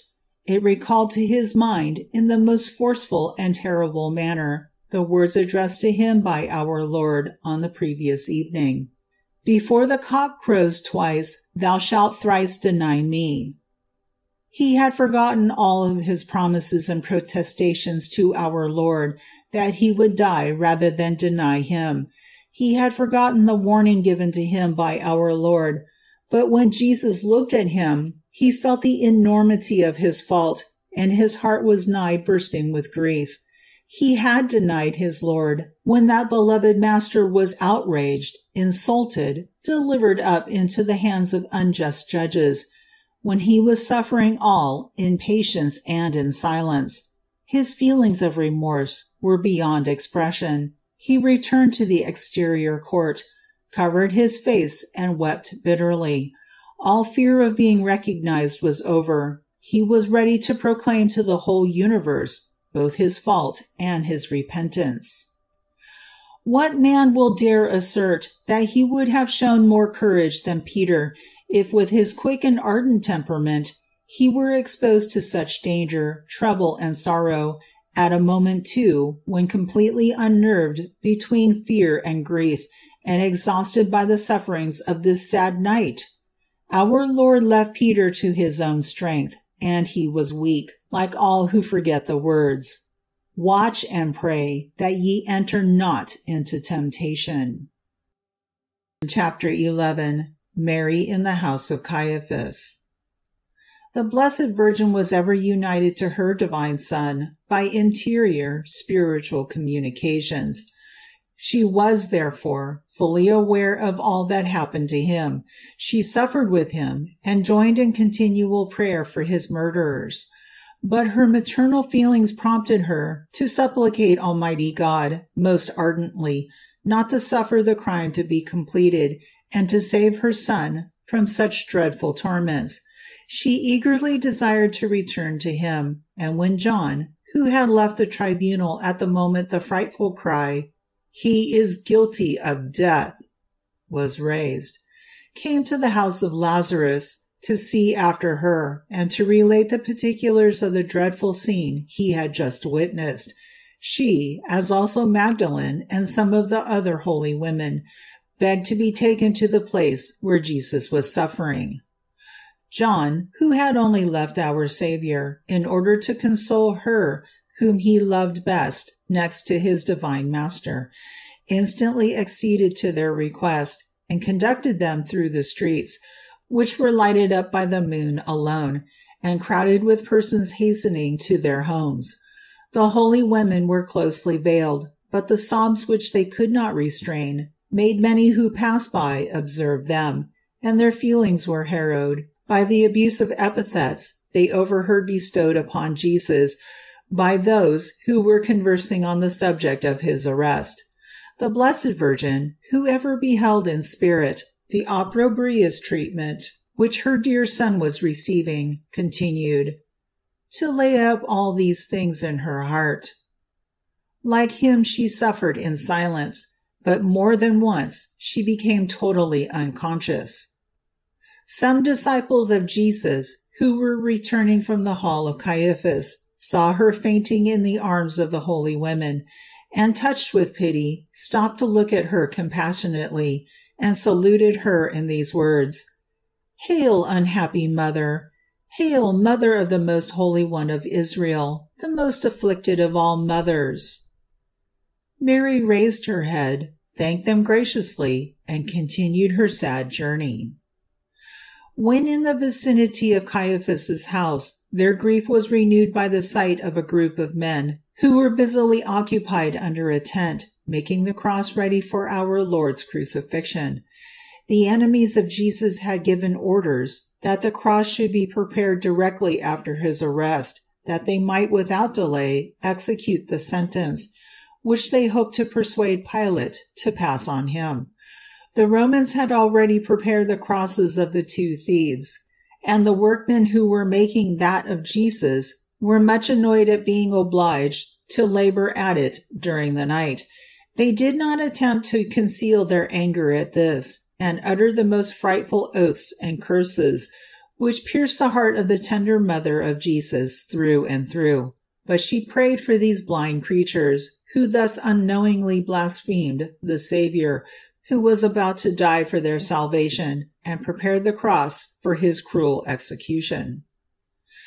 Mary, John, and the holy women traversed the outer court attached to Caiaphas's house. They stopped under the archway of a door which opened into the inner court. Mary's heart was with her divine Son, and she desired most ardently to see this door opened, that she might again have a chance of beholding him, for she knew that it alone separated her from the prison where he was confined. The door was at length opened, and Peter rushed out, his face covered with his mantle, wringing his hands and weeping bitterly. By the light of the torches he soon recognized John and the Blessed Virgin, but the sight of them only renewed those dreadful feelings of remorse which the look of Jesus had awakened in his breast. Mary approached him instantly and said, Simon, tell me, I entreat you, what is become of Jesus my son? These words pierced his very heart. He could not even look at her, but turned away and again wrung his hands. Mary drew close to him and said in a voice trembling with emotion, Simon, son of John, why dost thou not answer me? Mother! Exclaimed Peter in a dejected tone. O mother, speak not to me. Thy son is suffering more than words can express. Speak not to me.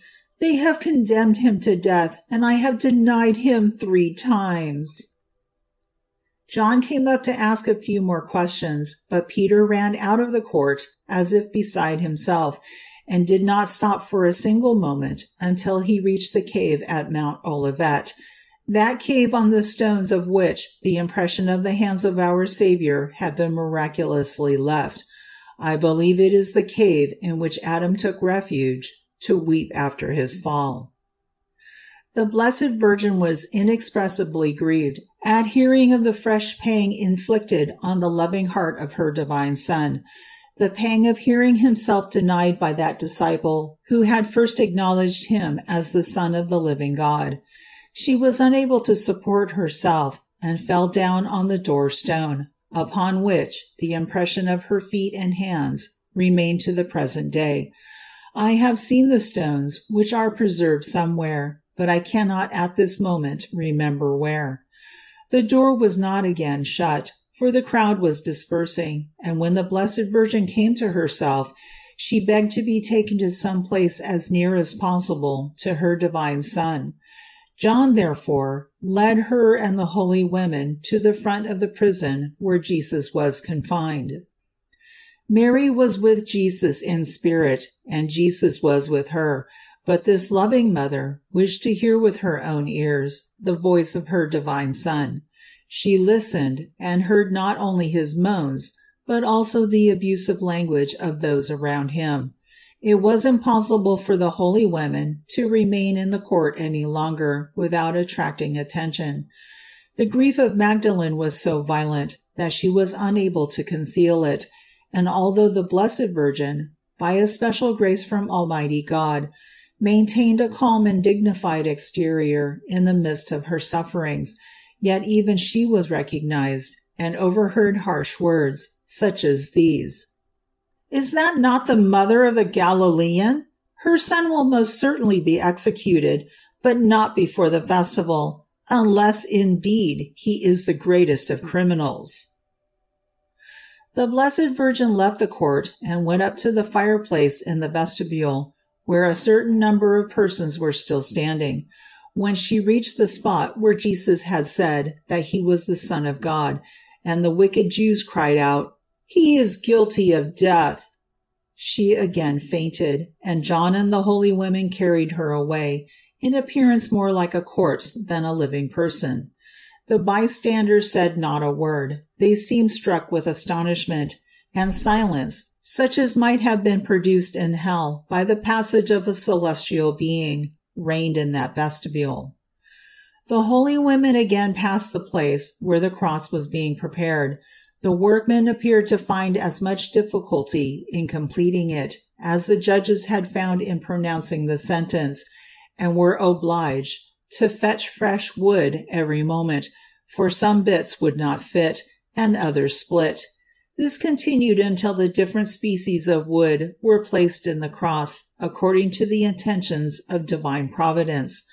I saw angels who obliged these men to recommence their work and who would not let them rest until all was accomplished in a proper manner, but my remembrance of this vision is indistinct.